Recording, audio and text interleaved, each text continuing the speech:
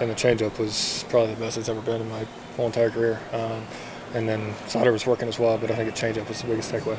What made it uh, work so good to make you be able to say best in your career? Yeah, I think I had a really good feel for it, um, and I think the, the movement on it was better than it's ever been. Um, felt good in the pen, and then I, you know out in the game, I just started throwing it more and just felt really comfortable with it all day long. Looked good, man. He ran some good two seamers in on guys. You know, his slider was good. He threw it to both sides of the plate.